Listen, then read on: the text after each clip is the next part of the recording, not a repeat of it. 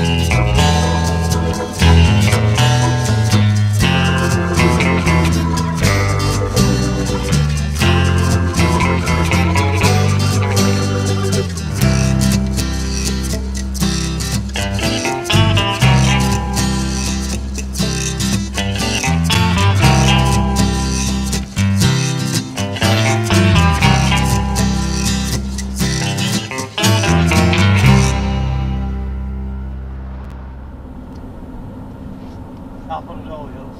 Go away, we get down the other side. Yeah, been a while since I've seen it this. this Great foggy. tick by.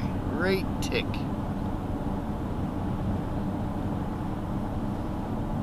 It looks like the window is steamed up. I know.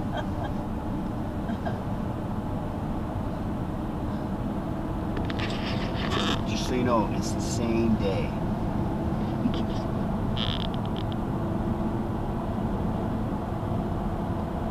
Times like this they should paint the lines a bright blue. yeah. Neon Yeah.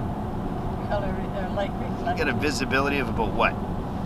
Not even 100 yards. No. No, 100 feet maybe. Yeah. Yeah. 50 yards.